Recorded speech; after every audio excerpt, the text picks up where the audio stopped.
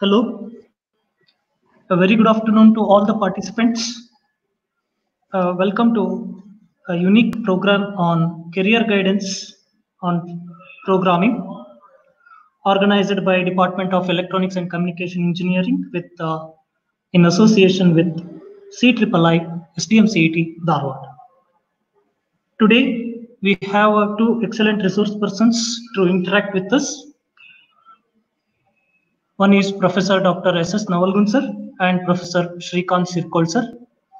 The first one hour is on uh, career guidance by S.S. Navalgund sir.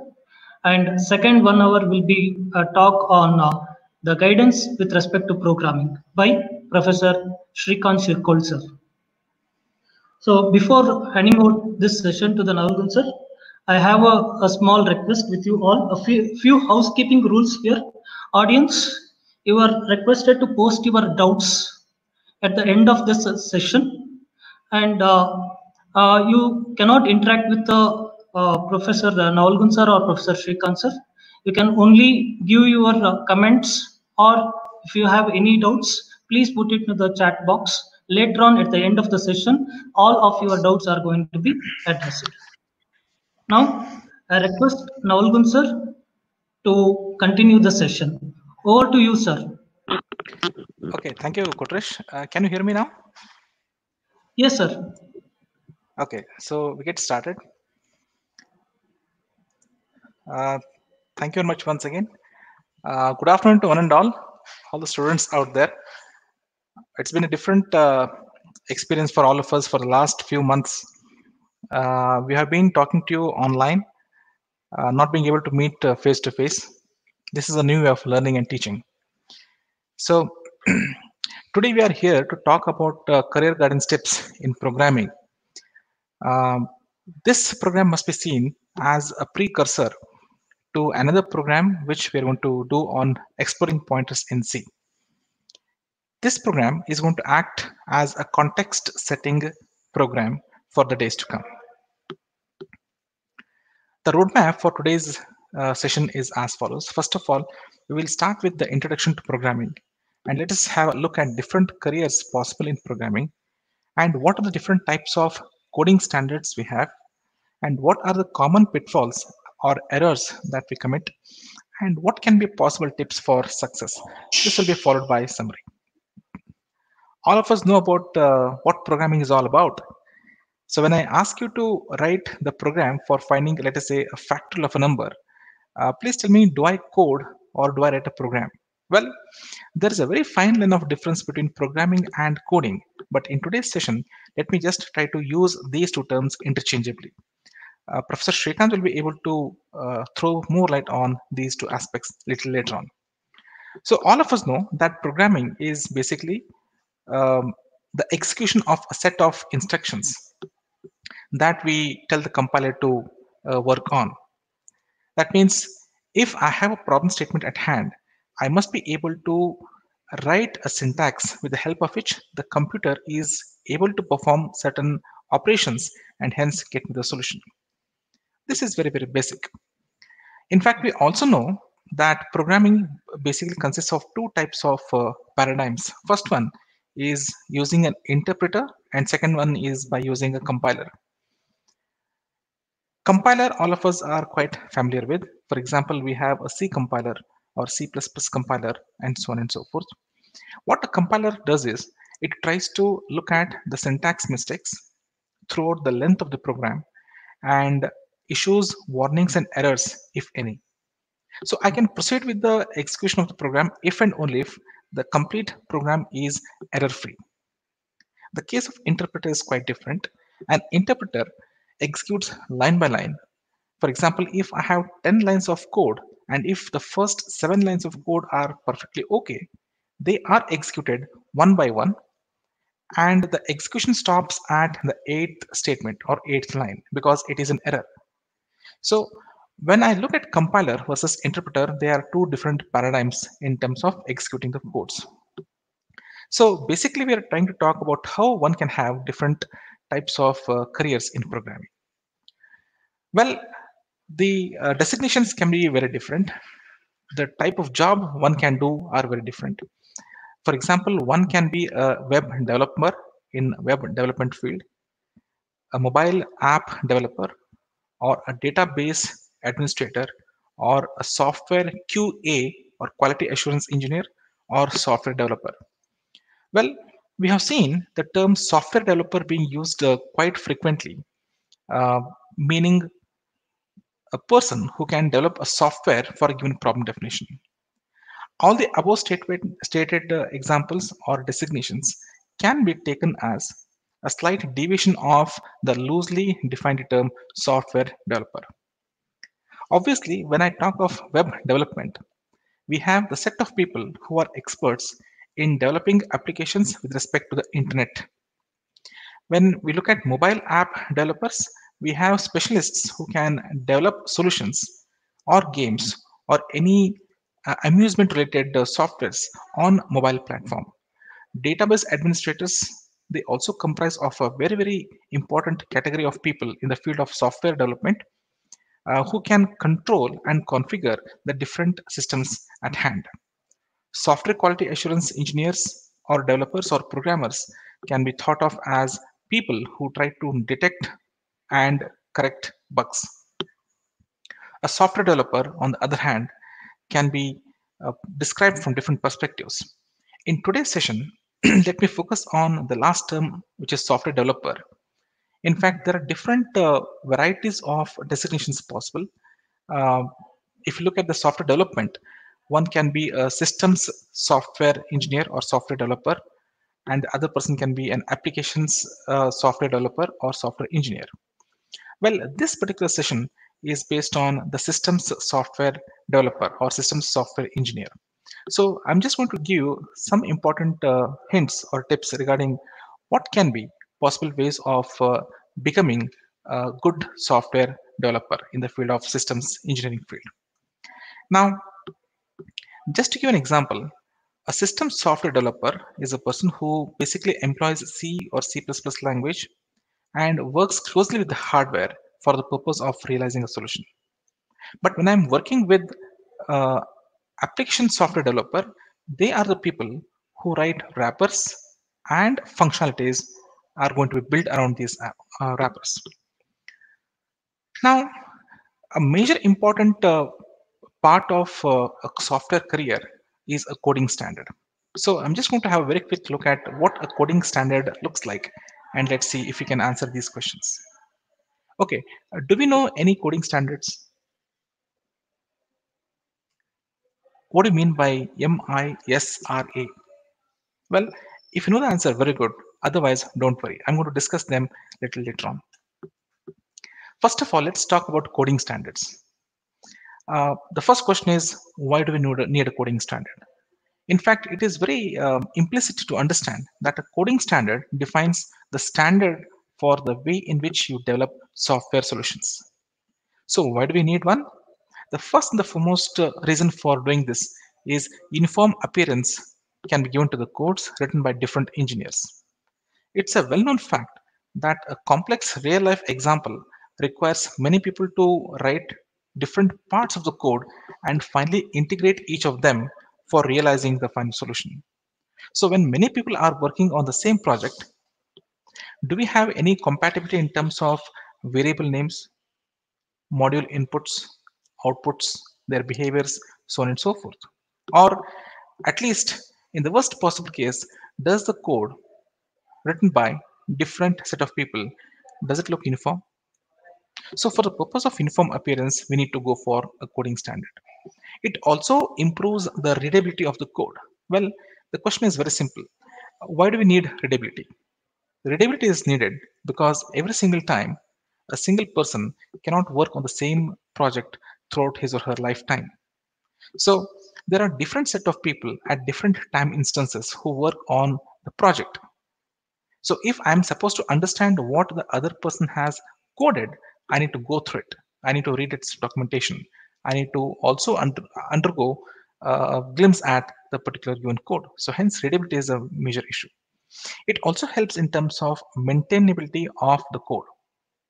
That means, as I was talking to you, if the code is well maintained, it is quite possible for any and every person to go through it and then make any modifications or try to bring out the next possible version. Debug is, debugging is also easily um, you know, used here because if you can understand the code, you can always look at the possible places where the mistake can be and hence uh, debug it. It also indicates a good programming practice and increases the efficiency of programmers. Well, um, recently a survey was conducted, a research study was conducted by a set of people in uh, Dutchland, and then they conduct they concluded that it is quite possible for us to code the solutions effectively, efficiently in the least possible time with least number of errors if one goes for coding standards. The reference of this paper is given at the end. So let us look at a few coding standards one must have. This is going to be a very, very crucial uh, aspect of uh, uh, people when they face campus placement because writing a simple variable name like int i, int j, int k, float yum may not be just sufficient.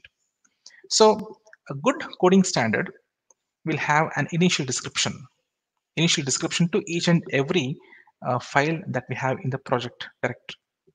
So this header to each and every file must have the module name, the date of creation of module, and who has written this particular module or the code, and when was the last modification done, and what were the earlier modifications done, what about the functionality of the present module, and what are the different functions supported in the module along with their input and output parameters.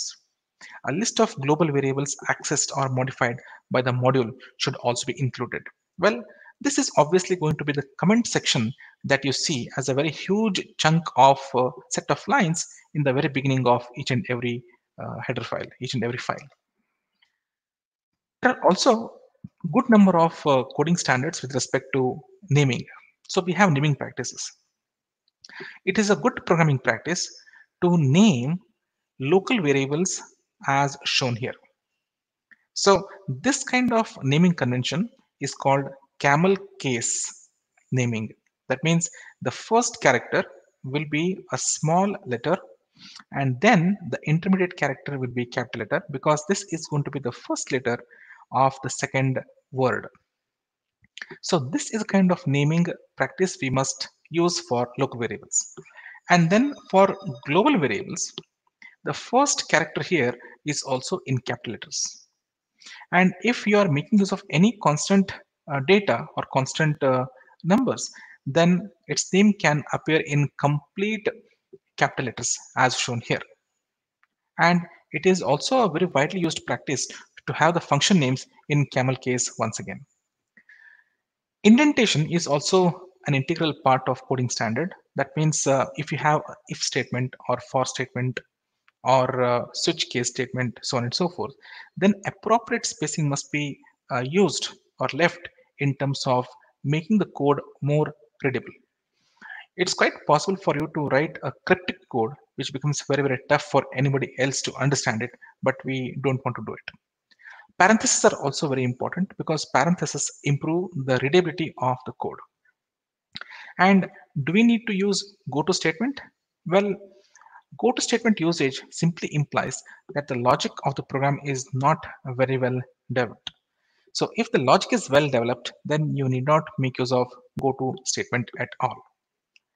Now, how do I enforce all these coding standards? The answer is static analyzers. So these are the set of tools which can actually help you to analyze if you are sticking to a particular coding standard or not. There are hundreds of static analyzers. Some of them are freely available and some are paid softwares that you can use to check if your code is all right or not. So the flow is if I give you code, you write the code, you write the code and then check for the um, compliance to coding standard. If the compliance is not yet fully arrived at, or if it is not done, then you go back, reiterate, and make certain modifications to your code so that you get the output. You check the syntax, you check the semantics, and then run the code. Once you run the code, if the code is working fine, well and good. Otherwise, once again, you need to come back and edit the code, check for the coding syntax compliance. If it is achieved, good. Otherwise, one once again, we need to reiterate and then remodify the code. So that's the sequence of uh, operations we have. Now, coming back to the question, like what is meant by MISRA? In, in short, it, it can be pronounced as MISRA.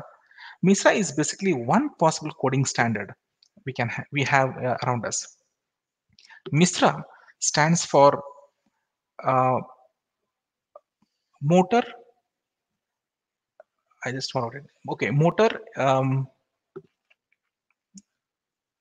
okay, just give me a minute. Okay, I guess I stands for interface. Software Reliance Association. So there are uh, the MISRA guidelines for C language and C++ language as well. Now, there is one particular rule, uh, for example, Rule 59, which states something like this. The statement forming the body of an if, else if, else, while, do while, or for statement shall always be enclosed in braces. Now, this is one simple rule that we need to follow, one simple guideline that we need to follow when we want to write the code for given application. Now, this is from uh, the 1998 version of uh, MISRA. Then we have rule 18.1, which says something like a pointer resulting from arithmetic on a pointer operand shall address an element of the same array as that of as that pointer operand. So that means it basically imposes the way in which we need to uh, manipulate the different set of uh, uh, variables and operands. One simple example I just want to give you. Now this is a simple if else statement. Now if some condition is being checked here in terms of the values of variable x, y and z. So if this condition is true, then we open the flower bracket and return the true statement. Otherwise, we return the false statement. Well, what is so special about this code? Is the code wrong? Well, the answer is no, it's perfectly okay. But do I use this kind of a code or do I go for different versions of the code like this? I have just rewritten the same code once again. I say if some condition is satisfied, then we say return true, else return false. Now I'm just trying to compress this further and we simply say return followed by the condition itself. Please note here, there is no any parenthesis at all. So the question is this, do I go with the first version of the code or second version of the code or third version of the code? Now, the answers can just depend. Some people may say that the first version is very long because it has all the opening parentheses and closing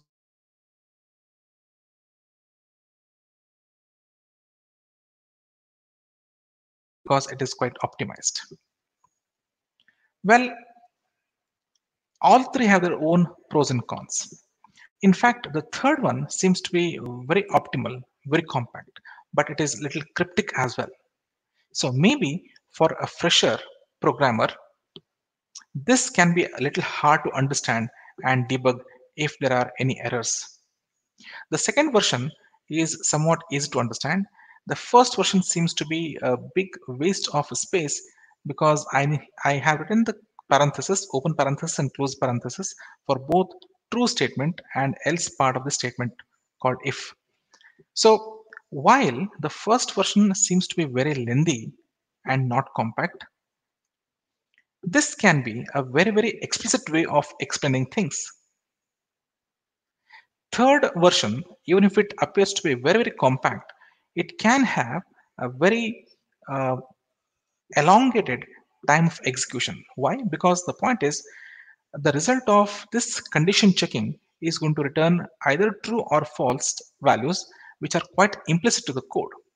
So sticking to coding standard doesn't necessarily mean that you need to optimize the code to such a level that it becomes very, very hard to read and maintain and debug.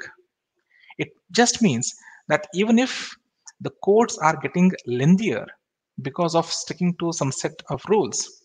If they can be quite explicit and easy to maintain, and if they are portable, one must go for it. Let us also look at some common pitfalls possible. Common pitfalls during the course of software development can be no consistent style. So when I say no consistent style, maybe the opening flower bracket on the same line in some places or on the next line in some other places. Then writing two big functions is also common pitfall one must avoid.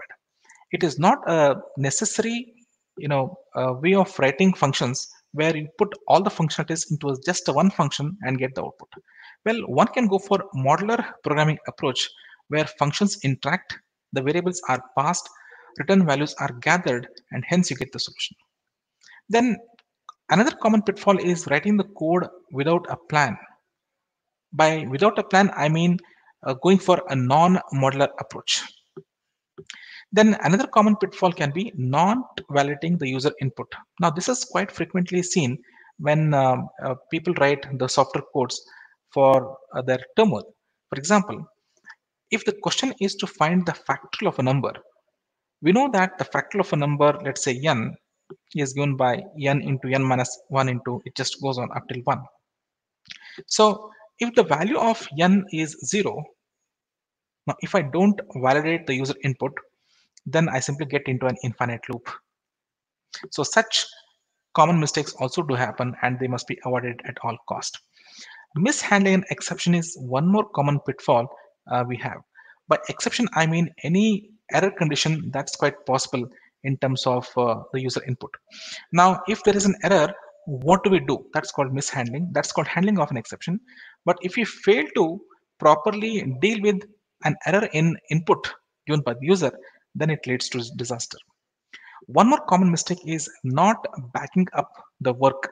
That means we need to maintain the copies of our work. We need to also maintain the history of how the things are modified, how the source code is changed from time to time. Two tips for success. First and the foremost thing is one must know the limits of oneself. Is it possible for somebody to venture into the systems systems area or applications area for the purpose of software development. You need to visualize your goals and work towards them with a time frame in, in our minds. Always we should question things to get more clarity and we need not compare ourselves with anybody else. Balance, independence and teamwork can be a good approach for succeeding and never ever hesitate to ask questions because when you ask questions you come to know about the answers for them so in summary um, software programming or coding can be an exciting field. It can be challenging as well. It has its own share of uh, uh, you know excitement. It has its own share of uh, rewards, and one must be prepared for them. I have gone through this set of references for the purpose of this presentation. Along with this, we can also expect uh, in the coming days a course on introduction to uh, pointers, exploring pointers in C language. That's going to start from tomorrow. So the first day will be the basic introduction to C language and basics of pointers in C. Second day will see us discuss about pointer arithmetic and pointers and strings and also pointers and uh, arrays. Day three will be uh, dedicated to the most favorable questions in placement activities where the questions can be like uh, a pattern generation like a, uh, a triangle or inverted triangle, a set of uh, different patterns, numbers, Pascal's triangle, uh, uh, Armstrong numbers, so on and so forth. Day four will be dedicated to pointers and structures and pointers and uh, functions. So um, this is what I just wanted to share with you. If there are any questions, then we'll take them. And after this, uh, Professor Shrikanth will continue. Thank you so much.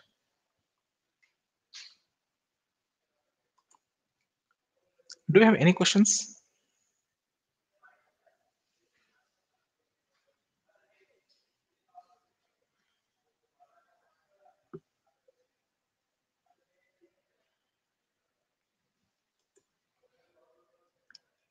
Okay.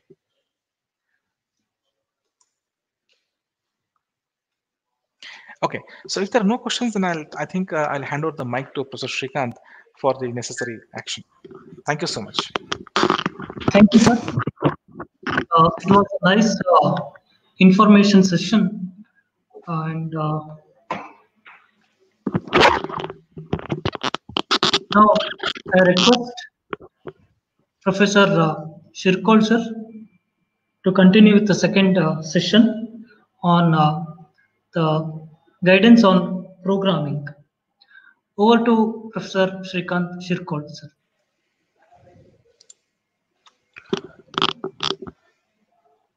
Good afternoon, sir. Am I audible, sir? Okay, thank you. Yes, sir.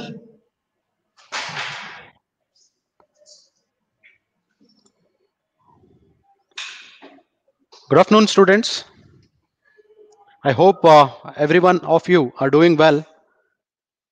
So today we are uh, meeting on this uh, online platform, YouTube Live, and this is our first attempt on YouTube Live. Hope you are enjoying. The intentions of coming onto the YouTube Live is there are two intentions behind it. One is you can watch it anytime and but you cannot interact. That's that's one negative. That's why we uh, ask you to come on live. And you can interact in live chat. Okay? We are happy to answer you. But answering will be done to your questions only at the end of the presentation. So i request all of the students to post your post your questions then and there wherever you have a doubt.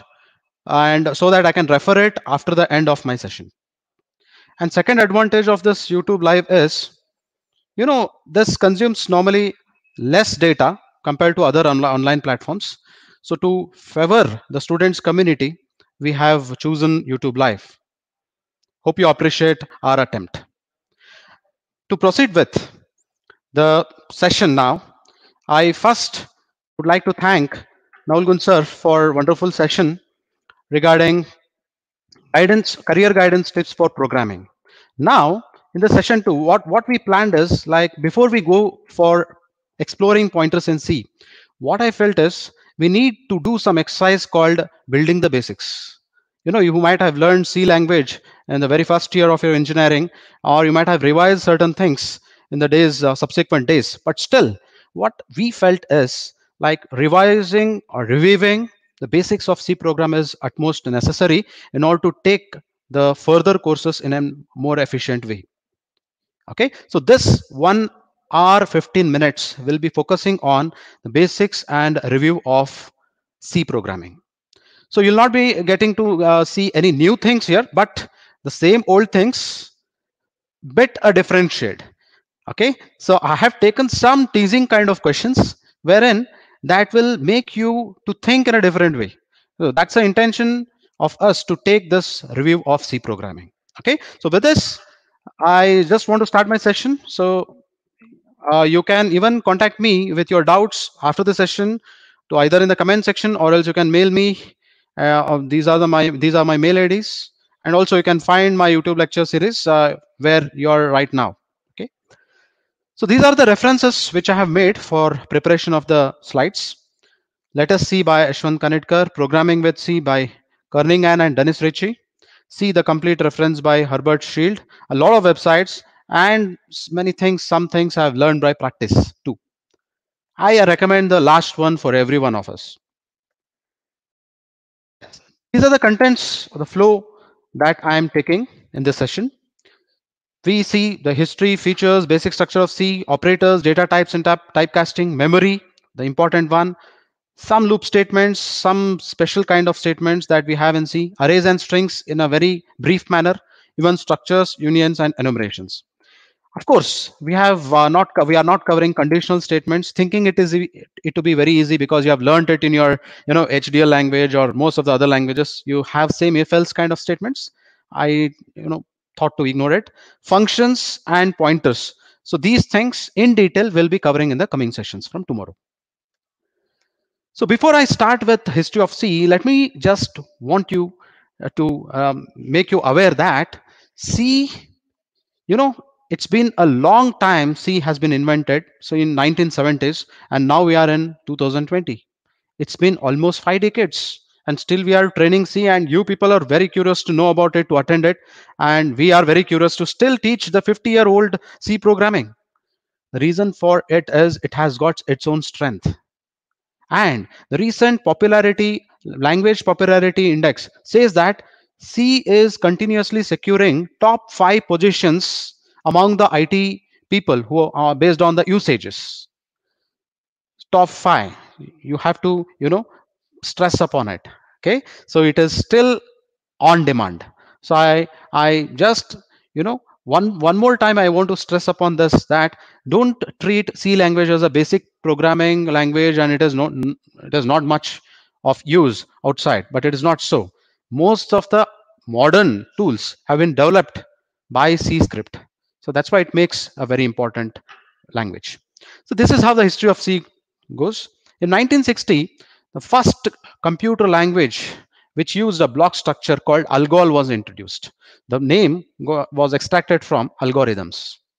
In 1967, Martin Richards developed a language called BCPL, which stands for Basic Combined Programming Language. In 1970, Ken Thompson created a language called as B. Actually, this has been used to create earlier versions of Unix. You might be wondering, like, why I'm covering up the history of the C because as a placement coordinator of our department, I have seen some of the questions even concentrating on the history of the C as well. So that's why I just collected these information in front of you. Again, developed, uh, made some addition of the features to the C, and we we have a famous book called Kernighan and Ritchie, who have uh, that book is you know very prevalent nowadays. Even I have referred to some some extent. That book is good. Even I recommend it for you. In 1989, American National Standard Institute Committee standardized the C and we call it henceforth as ANSI C. In 1990, even International Standard Organization Committee accepted it. In 1999, C99 standard came up and most of the features that we are utilizing of C are decided or added in C99. And recently, we have C11 and then C18 standardization, just a future addition process we will just see some features of C. C, as you know, it's a robust language. Programs written in C are efficient and fast compared to the languages that we have in the, you know, higher level, high level languages. I'm comparing it with high level languages. Why is it so? It's just because of variety of data types and powerful operators that it has.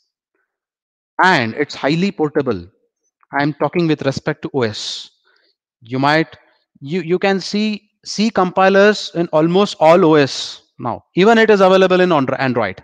You can download an online compiler of uh, C uh, app. So there also you can work with C. It's highly portable. And it is well suited for structured programming. Structured programming is a necessity.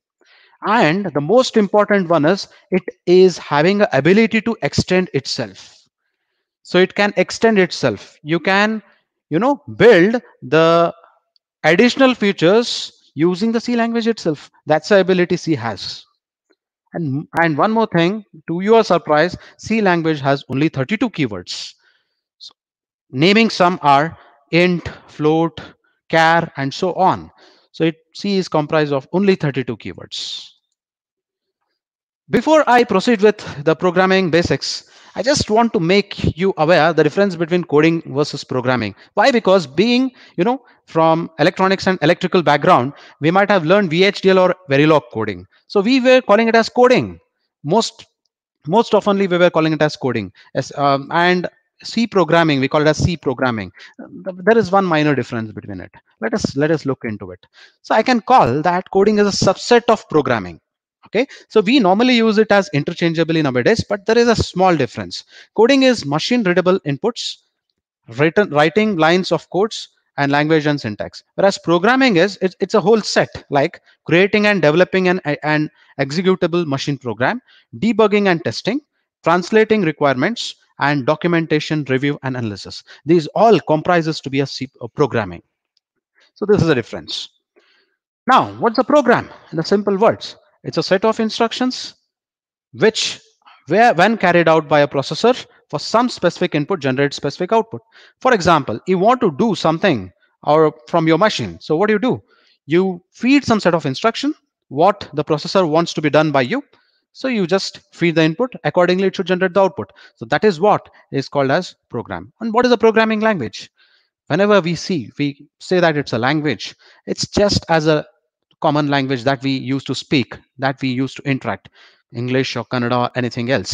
So wherein in the language that we speak, we you know interact between a person to person. Whereas in programming language, a person tries to interact with a machine. That's why we call it as programming language. And you know, like all our language has a grammar, we need to follow a grammar, right? So in that fashion, programming language are also uh, to be followed with some some some rules. We call it as a specific manner some predefined rules. So I can define programming language as a specific manner of writing a program with some predefined rules, symbols, and their use as a part of language. So you know the example of it. Now coming to the basic structure of C. Please don't ignore thinking that it is a very well known thing to you. So sometimes you know you commit the mistakes in the basics basics plays a very important role i i assure you that you will definitely appreciate this session while learning pointers in C. Okay, so we'll go with the basic structure of C. Documentation section is the first one. Link section, definition section, global declaration, main function, and subroutines. In detail, we'll just throw some light on it.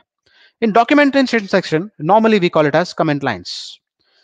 And one more important thing I want to highlight here. Comment lines are not executable statement, but you know, while writing comments, it can't be nested. Please understand, it can't be nested you cannot have such comments, comment within a comment. And in the link section, it provides instructions to the compiler to link function from the system library. For example, hash include directory is your link function, link section. It is written in your link section. Hash, in, hash include stdio.h. It's a header file, wherein in this header file, there'll be a lot of functions written. And when you, for example, printf and scanf, when you include this header file in your program, those printf and scanf can be used so it means whenever you call that function, it will fetch the code from this library. Now comes the definition section. Here, we normally use uppercase to define some constants. Wherever you use this particular definition, it will be replaced by that constant. And we normally use hash define to serve this purpose. And it doesn't end with semicolon. Next is global declaration section. There are some variables which we call it as global global variables, wherein it can be used or it may be used in more than one function. So in that case, we have to declare under global declaration section. Main section, main function is a very important heart of the program. I can say it contains two parts. One is declaration part, the other one is executable part. In declaration part, we declare all the variables like int, float, we declare it, we define it, we initialize it. All those things are done in declaration part. Whereas in execution part, we will be having uh, the body of the code. Now, before I proceed, I just want you to uh, concentrate on some of the various uh, other some of the different ways of writing the the function. So here, you can just write simply the main, which is which is equivalent if I write it as main into into the parenthesis void. The meaning of inside this parenthesis if I write void, then it indicates that no arguments. Here also it means the no arguments. Here we are explicitly indicating it. And some other ways of writing it are int main. Whenever we write int in front of the main, the meaning is this main function returns integer type. So whenever you use this fashion of you know function writing make sure that you're returning an integer at the end. If you're not returning anything then you have to write a command called return zero compulsorily. And then comes void main. This and this is same. This is not returning anything. Even void main does not return anything main void i have already discussed about it. Void main void. So same as uh, earlier one. Int main void. It does not have any arguments but it returns an integer. That's a meaning. Hope it is clear. So now we will just take one of the important section which Navalgund sir also you know touched onto it. I just want to compare between compiler and interpreter. I, I just don't want to define it or explain you about it because uh, sir has already done it. So what is the difference between interpreter and compiler? I have taken some cartoon to explain you. So interpreter, we we have we have used MATLAB tool. The MATLAB tool comes up with an interpreter. C language comes up with compiler. So interpreter checks every single line of your code and it will execute if it is correct and it'll go to the second line. If second line is correct, it'll go to the third line. If third line is wrong, then it'll throw the error at third line. So this person is helping this person by giving feedback at very often. Whereas compiler will, you know, will resemble this person. You have to read whole of the code to decide about the code, where the error is, which line, everything. Whole of the code should be written and then only we can use a compiler. Whereas interpreter, it is not the case the difference is clear. Please remember this difference, interpreter and compiler. Now coming to the linker section. So linker does a very important job in compiler, whereas a link uh, in a C programming compiler, a linker is a program that combines object modules to form an executable program. Source code for source file means C language, C, C program. So you have written a C program. Now, so compiler, it will check the errors and it will it will generate an object file. So once you are having an object file, this is a runtime library or a header file. So wherein the linker links this OBJ file with the header files, and then it will create the executable program .dot .exe file. This is how the linker section works. Now, C language is a high level language. Everyone knows, everyone of us know about it. And you know the famous assembly language that you have learned recently, 8051 and machine, la machine language is a one which is very friendly to machine. We call we also call it as low level language or binary language or zeros and ones. It has only zeros and ones. I just have a have taken an analogy. You know this person seems to be very unhappy because he is using a low level program. Because to write a code in low level language it takes I have taken a rough comparison. It takes him to uh, around one year to write a program because everything should be written in terms of zeros and ones. But once the code is ready, the machine takes just a second to execute it. So machine language or a low level language is more dearer to the machine, whereas it is not friendly to the user. Whereas high level language, you can see that this person is happy as all of us because we are fortunate that we have a high level program with us. You know, we can generate, we can write a code within a one within a month to for some general application and but but it takes five seconds on machine to execute. Here if you consider there is some some you know um, comparatively you have less efficient because the it, it needs more resources you know when compared to machine language. Now we will have some operators discussion. So we have a lot of operators like arithmetic operators logical operators relation operators assignment bitwise miscellaneous operators so on just go quickly, glance quickly here. Cool.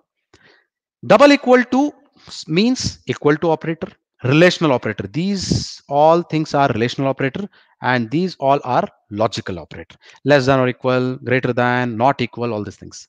And when I use double ampersand, double um, vertical bar uh, and not, logical not, all these are logical inverter. And these are bitwise inverter. We have one operator used here, one ampersand operator bitwise. It operates on every bit, whereas it operates on whole of the value. That's the difference. Now comes the arithmetic operator. We have plus, minus, star, modulo, and division operator. Assignment operator, I want you people to concentrate more on this because there is more chance that we might go wrong here and more questions have been framed in during placement activities on the assignment operators. So this is assignment operator. We have a left left hand side and right hand side right hand side assigns its value to the right hand uh, left hand side. This is a post increment this is called post increment unary operator. This is called pre increment this is post decrement pre decrement and these all are assignment operators. Okay? We can also write it in this fashion.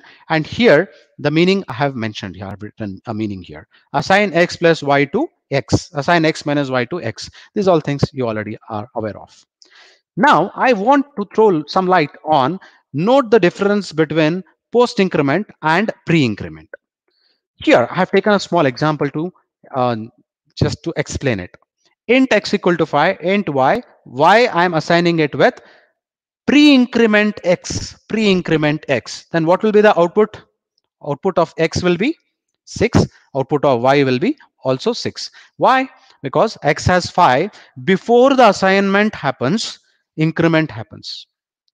So you have two operators are there. One is assignment operator and one is uh, what is this uh, pre-increment operator. So pre-increment operator has the highest priority over assignment operator. Hence x becomes 6 and that 6 will be assigned to this x also has 6 hence it is x equal to 6 and y equal to 6 the same code if i change only this pre increment to the post increment then the value changes like this. First priority will be for assignment operator and then the priority is given to the post increment so x value will be 6 and y value will be 5 because before the increment happens the value would have been assigned.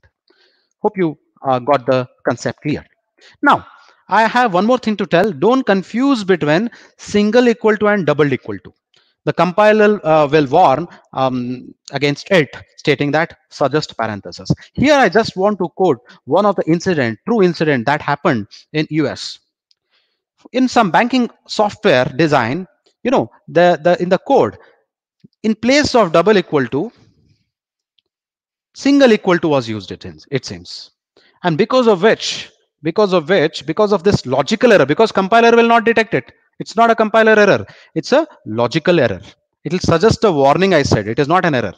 So in that case your logic goes wrong because of which you know bank lost 20 million dollars. Hence this error is famously known as 20 million dollar error. And i want to cite it um, i want to you know give the um, mm, credits to Navalgund sir because I got this information from Navalgund sir and i, I just uh, want to have uh, some example to make it much more clear to you uh, with single equal to and double equal to. Because these are some deceiving questions which where you might go wrong in your placement you know uh, entrances. Int x equal to 5 x is declared as 5 i am using a if else statement x double equal to 6 i'm it's a relational operator. Whether x is equal to 6 or not that i'm checking. If it is false it will not execute. If it is true the the following comments following uh, uh, statements will be executed. Now what is the value of x? X is still 5 because here i'm doing a comparative comparison not assigning. Whereas in this case in the second code what i'm doing it's not a relational operator. It's a assignment operator. Uh, of course i have declared x equal to 5 but i have overridden it. I have overwritten with x equal to 6 so x is now 6 so hence your x value is 6 such questions you can expect in your in your placements.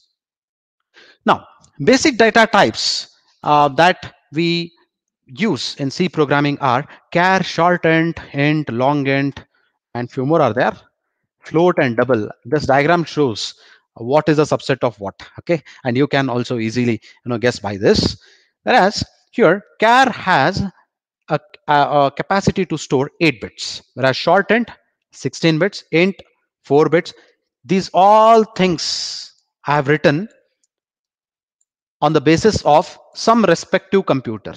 Whenever you've been asked with some question like, what is the data stored for long int or int? Your answer should be system dependent. I repeat, your answer should be system dependent. If the system is of 32 bits, int will be allotted with 4 bytes. If system is of 16 bits, it will be of 16 bits. If system is of 64 bits, it will be of 8 bytes. So it is system dependent, please remember. And float, in some cases, it is typically 4 bytes and in some cases 8 bytes also. Again, it is system dependent.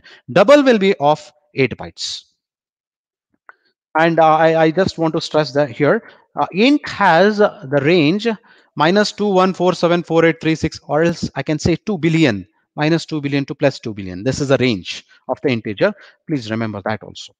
I have one small code here to explain you the operator called size of. So normally people confuse the size of as a function. It's not a function, rather it is an operator. Of course, it looks like a function, but it is an operator. Okay, so here I am having a small function, a small uh, code wherein we try to display the size of all the data types that we have just now witnessed. So I just want to make it much more clear by taking this code in dev C++, which uses GCC compiler. You can use any of the compilers, but I normally prefer uh, dev C++ because uh, it's uh, very much user friendly. Uh, visible, our host, uh, Professor Kotresh sir will alert me um, with this. You can just put your, you know, if any issues, put put uh, please uh, post in the comment section. So I have taken the same code into the Dev C++. Hope it is clearly visible to all of you. What I've done here, I'm printing sizes of int, sizes of unsigned int, short, long, char, float, all these things I'm printing. I just run it. Just run it. Hope everyone uh, knows here how to use a compiler. I'm using Dev C++ compiler. Hope no explanations are needed. It is taking some time for running. You can just see here. Storage size for int is 4 bytes. Storage size for unsigned int is also same. Short is 2. Uh, again, it is uh, repeated. Char is 1 byte. Float is 4 bytes. Double is 8 bytes. Long double is 16 bytes. So this is how the storage allocation happens with the data types. So uh, I'll just get back to the sessions. Okay. Now, one of the important topic in basic C programming is type conversions or typecasting, converting from one type to other type. So here, what we are doing is we are just taking the, the operands of binary operator must have a same type and the results is or should also be in the same type. Normally we follow this. So what happens in the following cases, we'll just have a check. I am performing an integer division. Actually, I have taken a Celsius to Fahrenheit to Celsius conversion. Here, I am having division. I'm concentrating on this division operation. 9 by 5 division process is carried out, wherein 9 is of integer because I have not written 9.0 and all. 5 is also an integer. Integer by integer will definitely result your answer in integer. So there is absolutely no problem here. Whereas here, you can just check 9.0 divided by 5.0 both are of float type so your answer is expected to be of float type and that's as simple as that and in case in case i'll directly go to this example. If c is equal to 9.0 by 5 then what happens? Then the process that is happen going to happen is called automatic typecasting in here what happens is this is a float type this is of int type. The this is this is not of same type. According to the hierarchy float comes next to it. I can say int is a subset of float. So this results in float type. Your answer will be 4.5 here. Here also your answer will be 4.5 what about here? Here your answer is just 4 okay? So in both the cases in these two cases your answer is perfect. 4 4.5 so here I, I i'm just telling you automatic or implicit type conversion hierarchy. It goes like this. Okay? So bool char int until long double. Okay? So just a diagrammatical representation i'm going i'm keeping i'm going bit quick thinking that you are already aware of all these things it is just like a you know you know trailer for exploring pointers in c or else i can say it's just a, a recap or revision of, of what you have studied already so type conversion i you know uh, i just want you people to come up in the live chat uh, live chat like uh, so here I have some piece of code, float f, double d, and long l, int i, and short yes. So d plus f, what happens in this case? The result will be converted in what data type? It's a double i plus float. So result will be of what type? Come up in the chat box. Integer division divided by short. Come up in the chat box. And long divided by i. That is int. So you can you can just answer it in the live chats uh, until host you know sends me the comments uh, i'll not be able to yeah uh, srinidhi uh, responded it to it double okay that's correct uh, mr uh, srinidhi thanks for your reply uh, it, it it motivates us because uh, you know it should not be like one way speaking yeah so now so this i'll display the answer here so f will be converted to double. That's a correct answer. Now i divided by s, yes will be converted to int. L by int, i is converted to long. So long integer. So here the, int, the I'm telling about the conversion to the result. So explicit typecasting is a very important uh, concept to be understood in today's session. So it is possible to force a conversion of an operand in this fashion. C is equal to, I'm taking the same previous code wherein in the previous code this part was not there previous piece of code. Float was not there. It is integer divided by integer. So integer divided by integer would have been given uh, the answer as 4 but that's not the expected answer. If you typecast it forcefully we call it as explicit typecasting. And that in that case your answer will be 4.5 it will it will result in a perfect answer. So here to just um, your analysis, I'll to explain the typecasting, I take this code, piece of code into the Dev C++. So what I'm doing is I would like to show you the importance of typecasting. So here I'm having int sum equal to 17, count equal to 5. I'm uh, displaying the result in double mean. So mean is equal to sum divided by count. 17 by 5 results in 17 by 5 results in 3 point something. Let us not worry what it is. 3 point something. But here it is integer divided by integer. So float type answer you will not be able to display. So I can show you that for you. show you the um, Dev C++ compiler. You can just check. Answer is not X um, will not result in correct. It is it is 3.0, which is not correct. So to correct it, what I have to do? I have to typecast it. How to typecast it? She typecast it to float in the double uh, in the parenthesis, enclosed it in parenthesis. Now I'll execute the same code. You can check. The answer is 3.4. Hope the concept is clear. Hope you understood the importance of the typecasting. Now, type conversion. So one more example I've taken for the type conversion. So here what we are doing is I'm having a, a code in front of you. Uh, please come up with your answer in the live chat. Please come up with your answer in live chat. Till then, I'll copy this code into uh, into the Dev C++. The code goes like this. Int a is equal to 1 billion. Uh, if I'm not wrong, three zeros, three zeros, three zeros, nine zeros are there. 1 billion. B is 3. Int is a and s. A and s has been assigned with a into b divided by d. b. b, b cancels. Answer is a. Um, if that is your answer, please come up in the live chat. Let me check what, what is your guess. Till then, I'll copy it to the dev C++. So I'm copying the same code for you. But to our surprise, the answer that displayed here is not A or not 1 billion. It is rather minus 4316556 something else. It's, it's wrong answer. So how to correct it? Again, the answer is have to typecast it. But the reason now is not justifiable because here nowhere we have floating type. Now 1 billion into 3 divided by 3 will always result in integer. Then why typecasting is needed? Typecasting has two advantages. One more reason for typecasting is if you are going out of the range. What is the capacity of int? Int range is a 2 billion something. You're crossing that. See here, according to precedence rule, A into B happens first. 1 billion into 3 is 3 billion. It is out of range. Hence, you're going wrong. So to correct it, to bring back, to give more space it space to it, I change, I typecast it to double. Now you can check. The answer is 1 billion.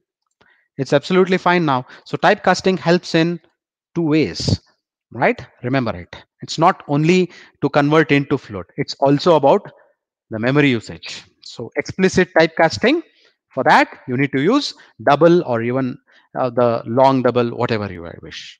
Now your answer is correct. Now next section is memory. So memory plays a very important role in every programming language. Unfortunately, as a programmer, we ignore to understand the concepts of memory. When you try for efficient programming, memory plays a very important role. Okay, so memory, just imagine it's like a big table or a big rack at your room, eh, which will be having a lot of slots. And you uh, think that you're utilizing that slots to keep the book. Okay, so in the same fashion, the diagram shows that this is like a rack, and uh, this is like a you know show, showcase or rack. We have lot of uh, racks here, and I can store the books whatever I need. The number of slots is its address. If I'm having 10 racks in my room, it's like address, 10 address I'm having. If I am I'm having 32 racks, I'll be having addresses of till 32. That's how it goes. And to um, just some some logical data uh, data type values, I can place it in the location of the respective address. Type names mentions or it it it means something with a span of the memory. For example, if it is a character type, then how much bytes are allocated?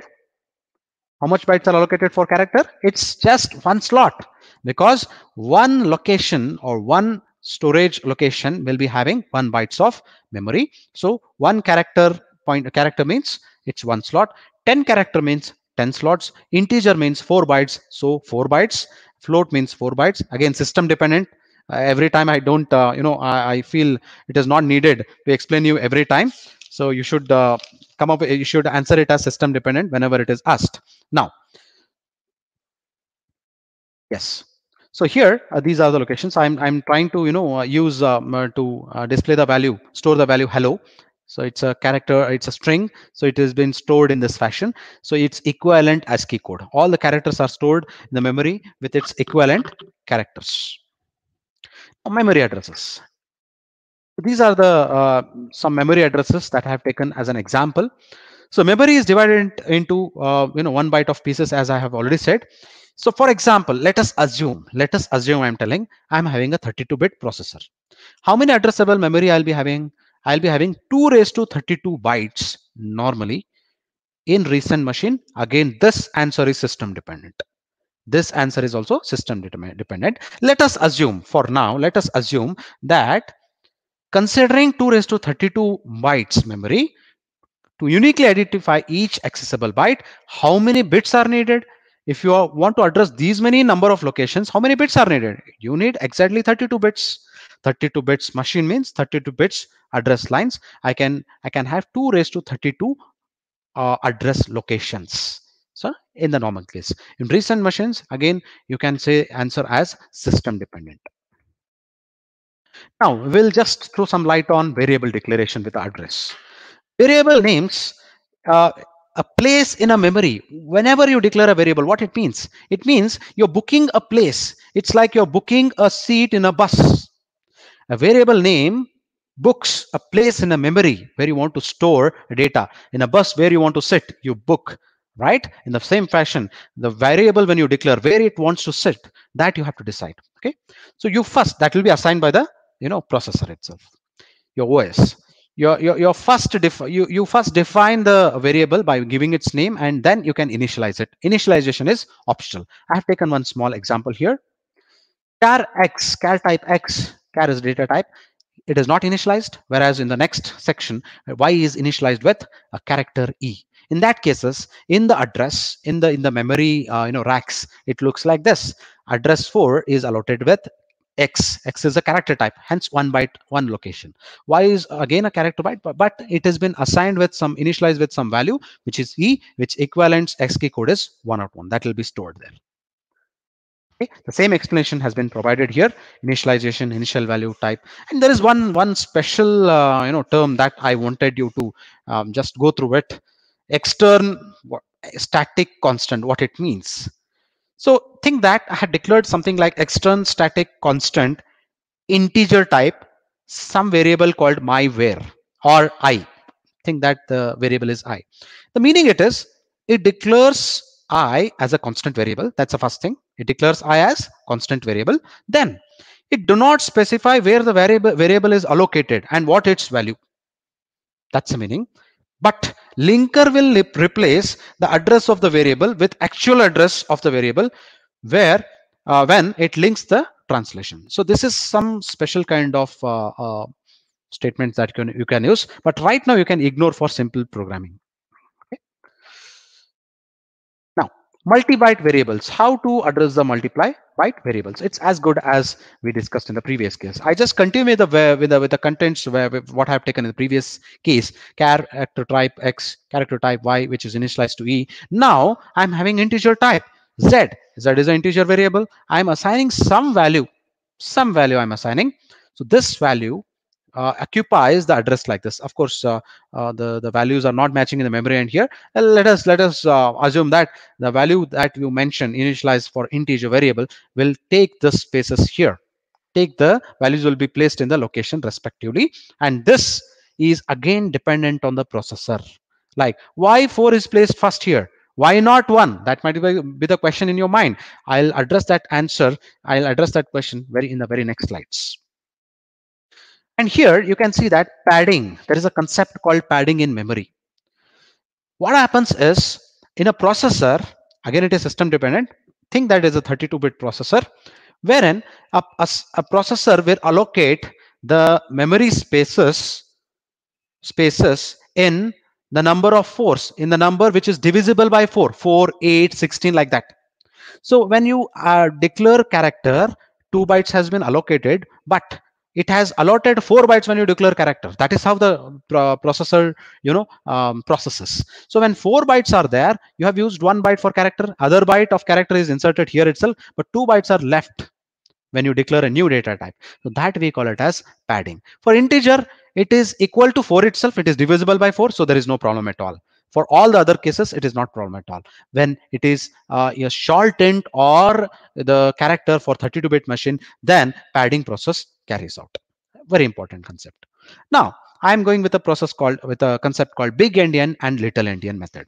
Before I go through it, let me tell you, little endian format is used by Intel processors.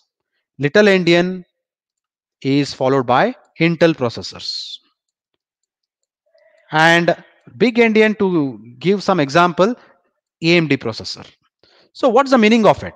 Big endian means the big end means most significant value in the sequence is stored first. For example, here, the most significant value is what? One is the most significant value. It is placed in the it is placed in the least lowest storage address. That's a big endian method. Little endian means least significant bytes in the lower address. This is the lower address. What is the least significant bit here? 67 is the least significant byte. So least significant byte will be assigned to the lower uh, address that is called little endian. So example for little endian is Intel. Now, quickly we'll brush up through uh, the following uh, um, uh, statements. Uh, for loop, um, I have taken some loop statements uh, for your understanding here. So for loop, you know, uh, one common question or simple question that can you know uh, come up or anybody can ask you regarding like what are um, uh, how how to generate infinite loops? How to generate a infinite loops? So these are some two ways i have shown you mm, simplest ways where to generate an infinite loop. For into the parenthesis two semicolons separated by a space. That serves the purpose. Followed by semicolon that is also okay. Or or without semicolon even that is also okay to generate a infinite loop. The meaning is there is no initialization there is no condition there is no you know increment or decrement operation so it falls in an infinite loop. There is some small example i've um, you know taken just to explain you how for loop you know works. To just a recap I, I'm, I have already told that this session is building the basic kind of thing for exploring pointers in C. Because tomorrow onwards, we directly start from pointers. We don't talk about any such basic building or basics of C programming. Okay, that's why with that intention, we have, we have taken it here. And here, uh, printf, scanf, I can use only if I have declared uh, the header file as stdio.h. Int I have used here it means I need to return an integer. If I don't have to return anything out of this main, then make sure that you are using this statement, return zero. I'm using a for loop here. This is a, a initialization, count is equal to one. This is a condition to terminate the loop statement. And this, this is incrementing, post increment, uh, for, sorry, pre, pre increment. Even you can use decrement okay so here um, this is assignment operator sum is equal to sum plus count. This code is to calculate the sum of first and natural numbers. You can compile it at your end after this uh, session and you can check okay? It's a simple one. I don't uh, feel that it should be uh, we need to explain this okay? Here the takeaways are these these are some of the ways of generating infinite loop. Some other ways to implement uh, infinite loop is for example you just have a check. Count is equal to one. Number you think you you might have entered 5 5 is a number entered. Think that you have entered 5 as a number. Sorry for my handwriting. I'm using mouse for writing it. Okay. Uh, so uh, 5 is a, number that i have entered. And after every uh, time it executes count increments till it reaches num. Once it reaches 5 it will go terminates the uh, for loop. Think that if i just replace this with replace this with decrement count decrement then this condition will never satisfy right? I mean this condition will be always satisfied. This loop will never terminate. Hence in that case also it will enter a infinite loop. That is one more case okay? There are 100 ways to generate an infinite loop. Even this can be a question. Now the next loop statement to our uh, uh, focus is while loop. While loop for loop do while loop These are some of the famous loop statements that we use in our C programming. Now the question comes, what to be used when? That I'll discuss just after these while loop and do while loop. So while loop, the very important concept about while loop is when do you generate, how to generate an infinite loop using while loop. To generate a while uh, infinite loop using while, while into the parenthesis, you need to mention a condition. When that condition is true, your while will execute. If that condition is false, while will terminate. Now to make it always true, what I have to do? Keep it as one. So by writing one indicates your while loop's condition is always true. The meaning is it always executes, it enters, enters the infinite loop. Whereas, whereas what happens if I write while two? What happens if I write while two? So if at all, you know, uh, you can just reply uh, in, in your uh, live chat. I, I can just, uh, you know, um, go through it whenever uh, after the session or I can answer it if you have any question. So whenever you have while of any non-zero value, take it any non-zero value, let it be 2 or minus 1 or minus 10, then still it is considered to be true. So while true case, your your uh, while will enter a infinite loop. I have taken a small code to explain while uh, mm, infinite, one more infinite loop. Variable of integer variable, I'm initializing it to 5. While variable, I'm checking this with some relational operator. Condition is 5 less than or equal to 10. So here, I'm decrementing this variable value is 5 5 if i decrement it will reach 4 3 2 1 like that already you know it is less than 10 it goes on becoming less and less and less so it means it enters a infinite loop this is one more way of generating infinite loop now what is the what is this uh, include uh, sorry uh, int main while of minus 1 it is again a infinite loop as i have already mentioned so this is one more, not, not an infinite loop. One uh, code I have mentioned, a simple code. Count is equal to one, count less than or equal to four. One, two, three, four the combinations that for which the while statement executes. So count goes on incrementing. So the output of this while loop is one, two, three, and four. Here, here I have taken a factorial number. Why I have taken this code? Because this is one of the most uh, favorable questions during placements. And it is not like write a factorial program, uh, the question you might, you know, get. It's like they will, they will make you the question more specific. Yeah, what is a write a program for the factorial uh, with recursion, with functions, with pointers, uh, so like that your questions uh, will be uh, posted. But i've taken simple code here to just explain you the while loop. So factorial code it is very easy to write. I have initialized factorial equal to 1 now when i um, think that i have entered a number is equal to 5 till the number till this is true. 5 is greater than 0 so i am decrementing here. You just see here. When i have entered 5 it should decrement because i'm i'm i'm matching it with 0 which is less than the number entered. Hence, you need to decrement it. So what I have to do, I have to just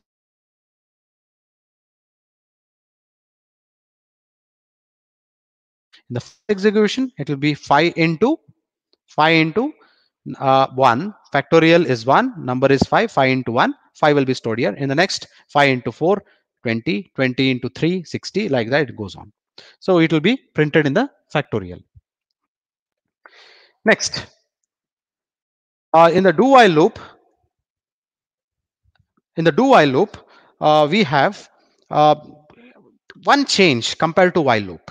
So in the do while loop, what, what is the changes? I'll just tell you that it executes at least one time. That's the only change. It executes eh, at least one time and the conditions for infinite loop is same as before earlier. So here, if even though I have mentioned it as false, while zero is a is a false statement. It is false. It should not execute actually. But in do while loop, it has to the function pointer goes like this. The, the, sorry, the execution pointer. So first it will execute this statement pointer printf percentage d count. Count is five. Five will be printed, and then count will be uh, incremented. Then it will check for the condition. So condition is false. So hence hence it will terminate so at least one time it is going to execute so this is uh, do while loop. I have one uh, special statement here called break and continue. So break and continue quickly i'll take it in the uh, Dev C++ to explain you. So break and continue are the special statements used uh, in a, in a um, in a statements to perform certain operations. Let me just show it here in a quick phase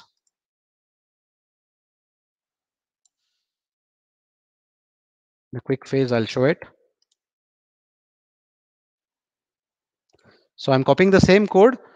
Um, I'm giving it its importance because uh, it gives you some idea regarding break and continue statement. So I'm executing with a break statement. What is here is this code is performs this code performs a division operation. Enter dividend, enter divisor. That's it. If divisor is zero, so you cannot divide, you cannot have a denominator with a zero because it will result in an NaN. NaN stands for not a number. So in that cases, print illegal divisor and I have used a break statement. I'm giving, I'm stressing on this number. Break statement, what it does, it will terminate, it will go to the end of this, end of this of lower bracket or else I can say end of this statement. It is conditional statement, end of this conditional statement. So you can say here, I can, uh, I'll just uh, enter a dividend, enter a divisor 2. Now it is working fine. Remember, it is displaying, the quotient it is displaying. If, if dividend is 5, divisor is 0, then what is the answer? It is displaying it as illegal divisor. And it is stopping it is terminating. See it is not asking anything else. Illegal divisor it it, it just ends it. But what if if i replace this break statement with continue? Just observe. This continue will take the execution pointer to the start of the of the you know statement that you have called it. Phi now i enter 0 so it displays it as illegal divisor. But again it is asking for the new input. Enter dividend. I enter it. Now i enter 2 now it displays it in the right fashion. So this is the difference between continue and break statement. So continue and break statements should be carefully used.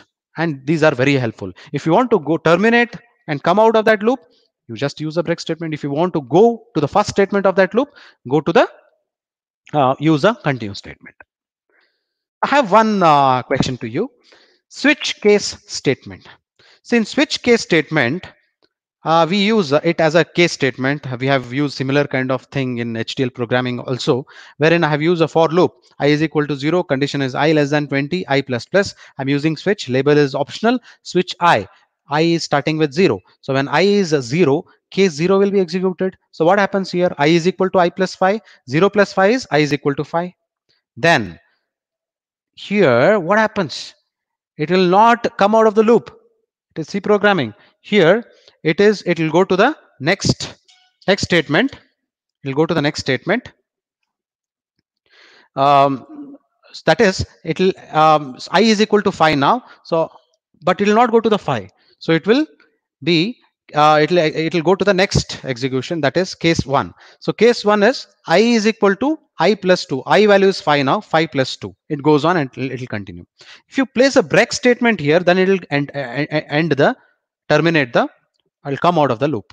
So the output that we get is 16 and 21 so 16 and 20 21 how how how uh, we get it? I'll just show uh, the you know explanation for 16 how it how uh, we get the 16 so 0 here 0 plus 5 is 5 5 plus 2 is 7 7 plus 5 is um, 12 and then 12 is it is covered in the default case 12 plus 4 is 16 16 is printed and it will go to the first line of the for loop. 16 so 16 is still under uh, within the condition. It is true it will increment. 16 becomes 17 now. So then what happens? You can you can just uh, decode it. So this is how switch case statement executes. Now now the next topic of our consideration is arrays. Arrays and strings. I don't treat these two things as different. Arrays you know it it is some set of integers i can say some set of float types i can say. Whereas strings it is set of some characters its array of characters is itself is a string so i consider arrays and strings to be almost you know subset of each other An array is a collection of variables of same type that are referred to uh, referred to through a common name. The declaration goes like this: type, you mention the type, int, char, even char is okay, and um, float and so on. Then give some name, i or a or whatever. Then mention the size. If you don't mention the size, still it is okay. If you mention the size, it is good for efficient programming. Int a of 6, it is an array of 6 variables. a of 0, a of 1, a of 2 till a of 5, not a of 6, 0 to 5. Double is a data type, d is a variable, 15 is 15 collection of 15 members in that array. Okay, so which is of double type. So array initialization can be done in two ways. Static initialization, runtime initialization. You might be aware of these things.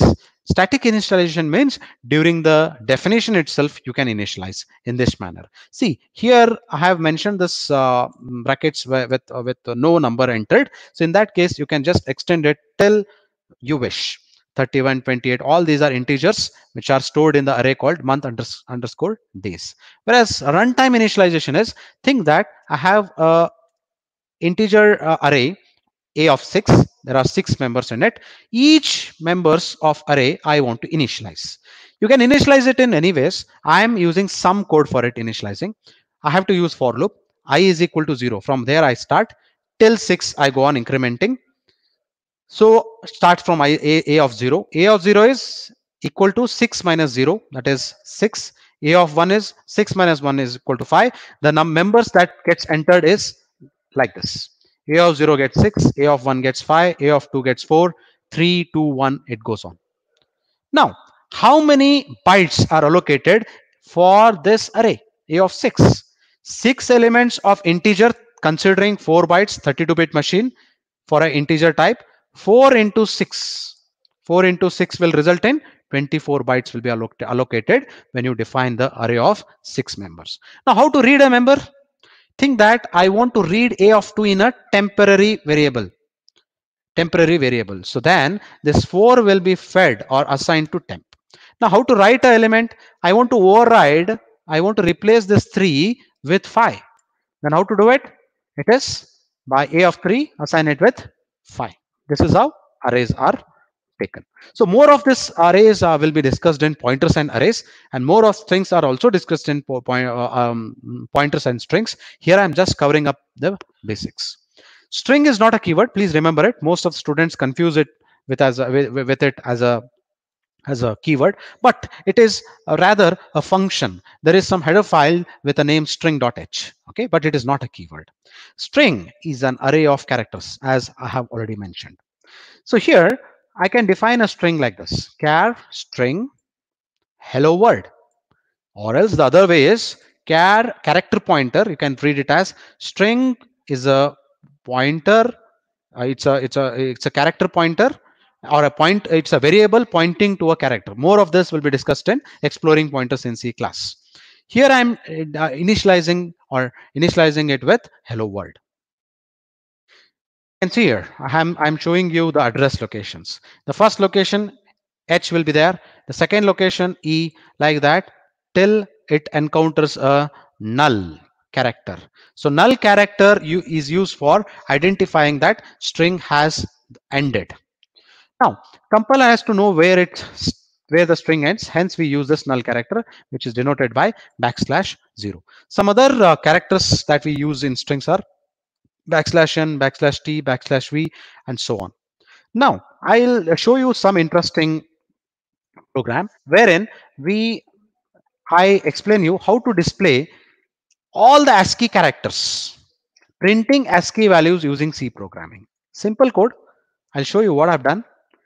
I've written a code with integer i for I have 256 ASCII characters, hence 0 to 255, total 256. What I have to print? ASCII character. So here the character gets printed. Here its ASCII, equivalent gets printed. In both the case, it's I what I'm printing. Okay. So run it. So you can see that in the compiler, you can see all the characters printed. ASCII character space is zero, uh, smiley is one, so and so. You can use it. So K is 75, L is 76, and so on. So this is how the ASCII characters are printed. This is also one of the famous question for placements. Okay, they they ask you what's the character equivalent uh, ASCII number for some some funny character. They'll ask it, and you should use some simple code to identify it. Okay, so now uh, one of the important section that is structures. array again on the if i'm not wrong on day four we have a session called structures and pointers. This acts as a basic for that session. So structures syntax goes in this manner. Struct is a keyword. Tag means it's a variable struct variable name that you want to mention then member list what all members you want to have in it and variable list. So this is the syntax of it. Any one of the three portions can be omi omitted. You can omit either tag either member list or variable list. That is possible. I'm just showing you the various ways of using structures. Now before we go with the structure why structures are needed? Structures are very helpful when you want to combine the information of when you have heterogeneous members heterogeneous data types are needed. For example if i want to have a students details student details has serial number or roll number yeah, student details has a name has a marks so i need integer i need character strings so I, I have a heterogeneous data types needed. Then i can use the structures. That's the importance okay? Now here i'm omitting the tag. So tag is not there. I have not uh, defined it as a data type now. So i am de declaring it as a variable directly variable. So this is also allowed. The example is shown here. Okay? So next omit variables. Now i have i have omitted variables. I have not written any variables like x y and z here. I'm just defining a data type. I can say uh, with structure i'm defining a new data type called yes. Yes data type has integer a and b and then it has a character pointer called okay? So this has no variables declared. Now i can separately declare the variables here. See here i'm declaring z. What is the meaning of z? Z is a variable of what type? Z is a variable. Uh, please uh, focus on this. Z is a variable of type struct yes what is struct s? Struct s has three members. One two are integer type one is character pointer. So this is how uh, we have uh, uh, we use the structures okay there is uh, one more thing. Type def struct. So this creates a simple type name yes. I don't want to use a struct. I do i just i just want to use this as int float like that kind of data type. Okay so yes if i want to use yes and z. In that case i define it as type def struct. And in that case i can just define it as yes z. Most convenient way compared to struct yes here i have taken some analogy some pictures so that it is easy for you to understand i have an array of structure here i'm repeating array of structure means see here I am defining a structure here. Struct employee. Employee is a data type. I'm defining a user defined data type of structure employee. It has got a different heterogeneous combination of members. Int ID. ID. ID is like roll number for students. ID is for employee. Employee ID. Character. Name.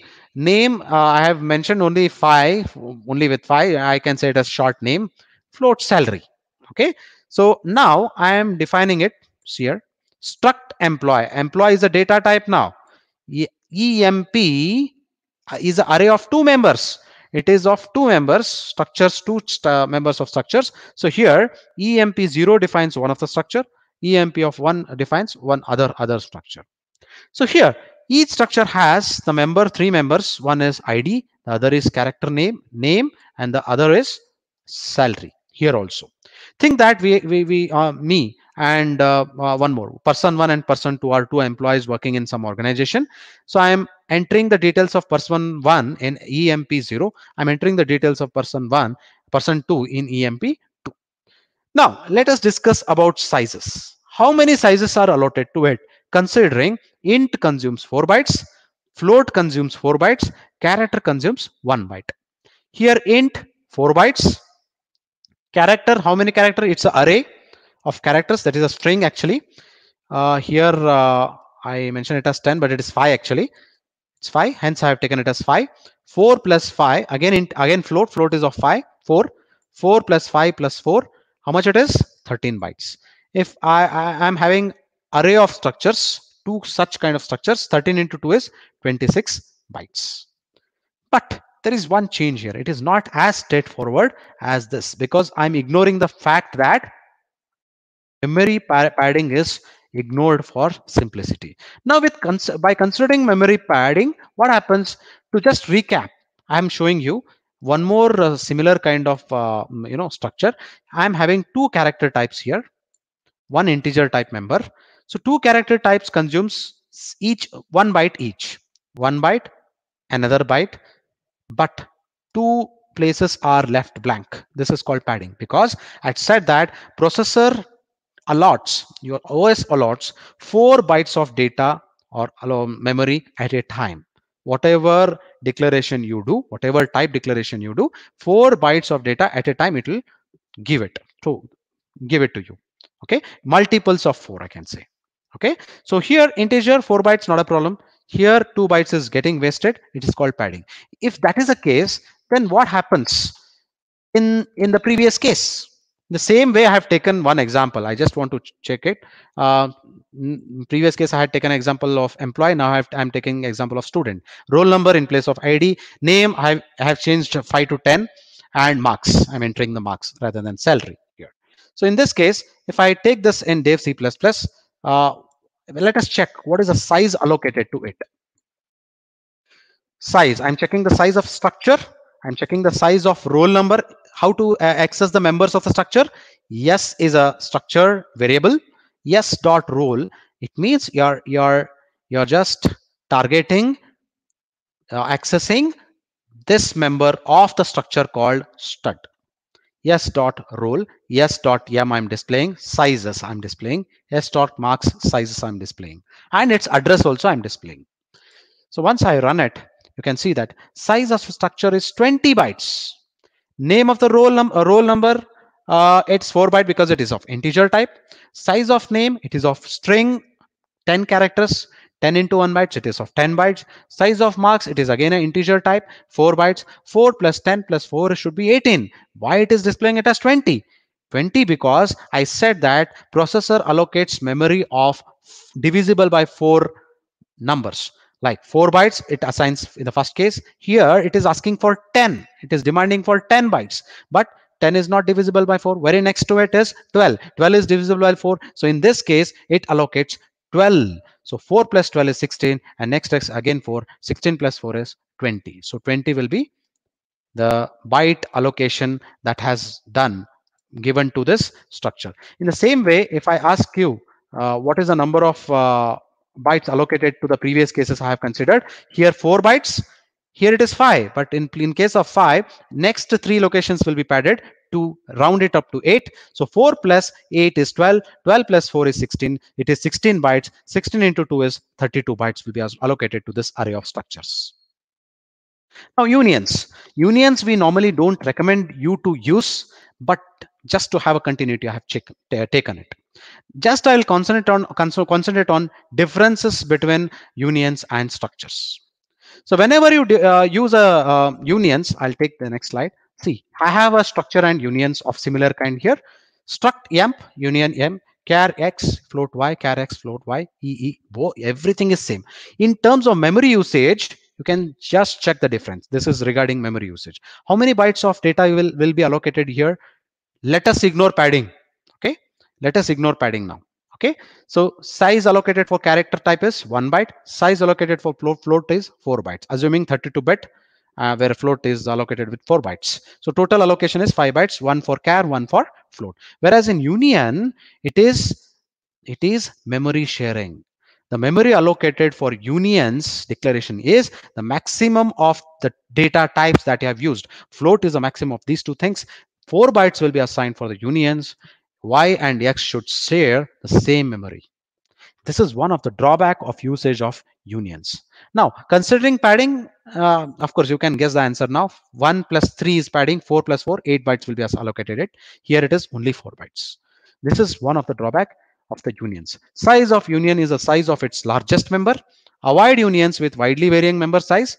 For the larger data types, consider using pointers instead. So this is uh, one simple, you know, uh, analysis between structures and unions. Now the last part of my session here is enumerations. So after this uh, um, section, uh, I, I, we will have some question and answer section. If I have some uh, doubts in the comment section, okay. So an enumeration, what are the enumeration? Enumeration are normally called as user-defined data types. So it provides the data type with some set of values. And there is one interesting thing about this data type is that enumeration is an enumeration constant is a type of an integer. It's a type of an integer actually. Every member you you write in the enumeration will be assigned with some integer. I'll show with an example. Enumeration can be used with indexing expression and you can also apply the operands such as arithmetic and relational operators. So enumeration can be used as an alternative to hash define. You will be using hash define in the definition um, declaration section that so in that fashion, you can use user-defined enumeration. In fact, it helps. It is more user-friendly compared to hash define. Here are some of the ways to declare an enumeration. Enum is a keyword. Example type is a variable. User-defined data type, I can say. These are the members of the data type. For example, what are the possible members of integer? They are minus 1, 0, 1, plus or minus 1, plus or minus 2, plus or minus 3, plus or minus 4, plus or minus 2 billion. It continues. What are the members of this example type data type? It is only four, red, white, black, green. That's it. And you can even create an unnamed enum also. This to just replace use of hash define. Okay, normally we use this one. To continue it, think that I have used uh, one more enum called test example so test example is an user-defined data type of type enumeration whose members are of 5, 1, 2, PS3, 4, 5. I said that I said that each member will be assigned assigned with integer type, integer value. So this is assigned with value of 0. This will be assigned with value 1. Now tell me what is what is the value assigned with 5? So i am questioning myself. I'm answering uh, answer is also given by myself. It's okay. I hope you people are answering at your end. So it is 5 0 1 2 3 sorry not 5 it is 4 starting from 0 it is 4 okay? So now i am defining a variable called test1 i am initializing it to be ts3 because test1 is a variable of data type test example. It can have only data that is covered under the its members nothing else out of it so this is the enumerations now before i conclude my my session uh, i'll just see you again in on day three of exploring pointers in C. Tomorrow is day one, day three of uh, pointers in C, and I'll come up with all these very interesting things. Other than these, also I have a lot of other questions. All are questions that have appeared in the placement section in the placement process. All these questions. No questions are simple simply taken. Every every questions have, are, are taken from some other some or the other companies placement aptitude or um, you know programming test. Uh, some to to same uh, to name some are prime number strong number perfect number and strong number factorial palindrome swapping sorting pattern generation and more of it so we'll we'll see it all these things in upcoming sessions. Thank you. Let me check if you have any queries. And before that, I just want to conclude my session by saying this quote, do, do it now. Sometimes later becomes never. If you people have not yet started with, you know, working on programming by practicing or not yet started preparation for GATE, it's not late yet. Do it now. It's a right time okay? So with this quotation i just uh, uh, want to end my session. Uh, over to um, our host professor uh, sir. I'll just check if you have any doubts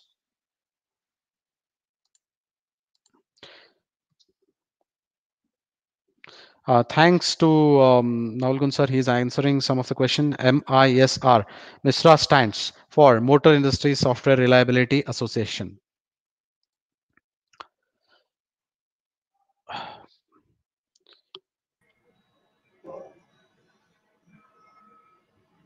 Yes. Sir, where unions are used? I have one question. Where unions are used? So unions, I said just now that unions are not recommended for using as structures, you know, dominate it. You can do whatever unions can do using structures itself.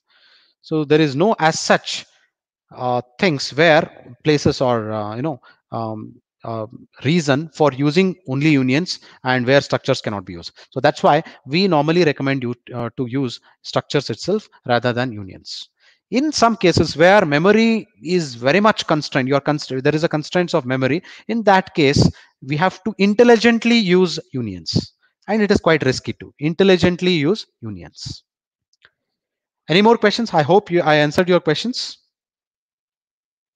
No other questions. I hope uh, uh, I hope you followed the session because doubts are one of the way to, you know, understand that. You have uh, understood it. So I'm waiting in the live chat. If you have any doubts, we'll take it. Or else, or else I request host to just uh, tell them uh, the details of the next session. And during the next session we'll be having poll questions. After each session like in every every hour we'll conduct a poll questions. And you need to answer it. You need to answer uh, the answer the questions will be based on the sessions that we have uh, carried out and after that uh, we'll be having quiz at the end but based on this poll questions we'll be marking your attendance and your attendance on on the basis of your attendance you'll be receiving your certificates and the same thing will be forwarded to the placement officer Miskin sir. So Vinayak Miskin sir have asked us uh, to share the attendance list. So sir, uh, I have one more question. So padding may be applied to unions. Padding may be applied to unions. Definitely. Padding, you know, it is related to not structures, rather it is related to, it is related to uh, processor, wherein processor takes care of it. Processor you know allots four bytes at a time whenever you anybody requests the memory either it might be a, uh, structure or union whatever it is but what happens with the unions is unions allot will be allotted with a memory of maximum of the members that we have we have covered in it we are, we are covering in it.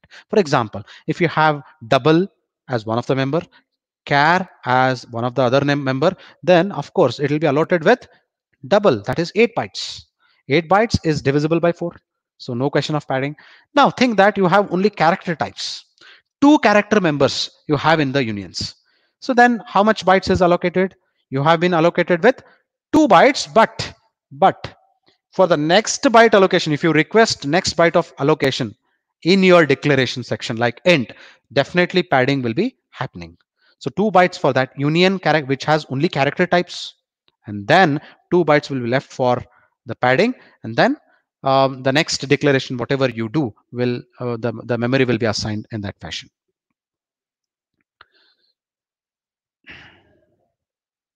yeah uh, Navalgund sir uh, have uh, just asked me like can you share some light on uh, uh different compilers? We have uh, so many compilers to work on uh, C language. If you are as as all of us are under lockdown of course we are working right now in the college. Most of uh, you are at your home. Uh, i'm happy that most of you have joined uh, have made all the facility at your home. But still if you are not having laptops. Still you can use a compiler. There are a lot of online compilers are available. A lot of compilers are available in your play stores. If you're using android or you know apple even apple uh, please download the compilers and work on it. And if you have any queries we are, we are happy to answer it. Online compilers are also very um, you know very, very good to work on. And normally we recommend you to use a gcc compiler So in Linux uh, platform, uh, it is uh, you know for you it will be a bit uh, difficult to you know follow. Uh, for us also switching becomes difficult. Hence we have used Dev C++. So GCC compiler in Linux platform is what we recommend, and even you can use code blocks. So code blocks is one more famous uh, C compiler that uh, we can make use of. Any queries? Any other queries? If you have, let me answer it. And uh, one more thing, um, one more question I'm having. Sir, please suggest any online platform to uh, practice coding. Uh, so for this, my answer is just Google it. Just Google it. Online C compiler. You will you will have lot many. Just try two or three and come to your own conclusion. Because uh, you know uh, the things, the compilers, what are comfort, comfortable for me are not comfortable to Navalgund sir uh, um, and the things what are comfortable for me uh, might not be comfortable to you also like so that's why you just type uh, online c compilers in google you'll you just try with some two to three uh, websites. Uh, whatever is comfortable for you you follow that okay? Uh, even in your android android phone you can have it but typing becomes a bit difficult. So even i recommend using computers. Okay any any more doubts students? I'll be i'm verifying your youtube live chat I hope uh, have uh, answered all your queries. And uh, you know, C program is famously used in device drivers. Let me tell you, one of my friend works uh, works in uh, device driver section in Microsoft. What he says is, whatever work he does, it will be patented. It seems because whatever he work is doing, it is it is newest thing or novel thing, and it is getting patented. Uh, device drivers section or writing a um, being a developer of code for device drivers is one of the most trickier one for device. Why i'm mentioning this device drivers? Because device drivers can be written only if you have a sound knowledge on hardware as well as programming. Being an electronics background people we have that electronics as well as electrical people. We have an edge over computer science people or or you know understanding the hardware. We understand the hardware better comparatively. Okay? I hope so right? So in understanding the hardware and then programming is is one of the you know efficient way of programming. Hence we people are more means we electronics uh, engineers are electrical engineers are preferred uh, and even some of the computer science who are good across the platform are preferred for device drivers writing developers. That is one of the very very uh, having very good scope outside. Uh, so shall i uh, shall we conclude the session shall i assume that you don't have any doubts? So let us not worry. If you have any doubts, still you can post your questions in the WhatsApp group that we have created for you. And also you can ask your friends of other colleges also to join because till um, uh, when we created a WhatsApp group and uh, registration, we were not sure about, uh, you know, coming to the YouTube live, you know, all Google, uh, um, Google Meet, uh, WebEx, all um, online platforms uh, have some restriction that we can allow only 100 participants. That's why we that's why we shared you not to share it with anybody else but still now you can you can ask your friends if they are interested to uh, you know join the live session. And i have a question from srinidhi uh, while writing program for test case test for test cases can we use structures? Um, writing test cases i assume um, you're asking about test cases nothing but uh, I, I'm, I'm not uh, you know uh, following your question actually. Structures having any types. Uh, let me answer this. Meanwhile i request srinidhi to elaborate your question one uh, still more. Um, so structures have any types. You know structures are heterogeneous it is a it I, I treat it as a heterogeneous type because structures has members of different data types. I just now show you an example. Some three to four example have shown wherein the structure stood, stood, stood stands for student. Student information has roll number. Roll number is of integer type. And then uh, your name is of string type, character, character type. And then your marks is of integer type. Here it is a combination of integer, character, and then integer. It is a heterogeneous data type, I can say okay structure does not have directly a data type when you declare a variable of any structure then we call that that variable is of type struct whatever name you have used like stud or student okay structure uh, is not like any type it is it is it acts as a data type Fine. I hope I have I have made it clear, Lakshmi.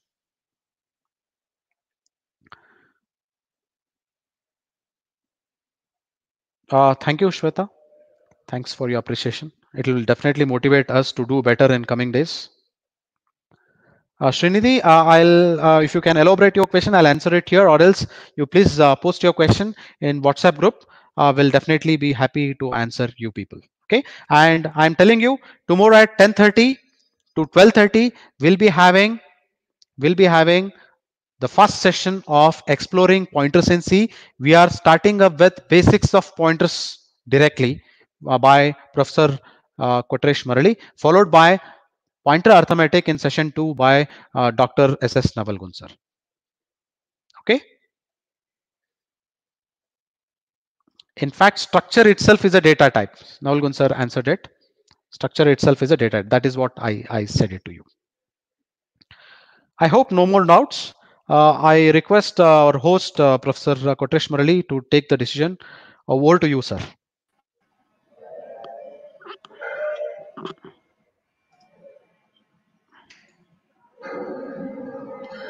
Thank you, Shrikanth sir, for uh, Thank you, sir. elaborative uh, explanation and uh, giving uh, more fundamental tips regarding uh, C programming.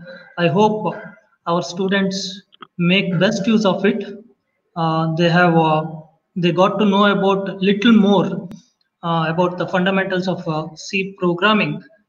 And uh, uh, once again, I thank uh, Professor Dr. S.S. Navalgund sir and uh, Professor Shrikanth Shirakol sir for wonderful session on on the career guidance and tips on programming. Uh, so students, tomorrow we will be meeting at sharp 10.30 a.m.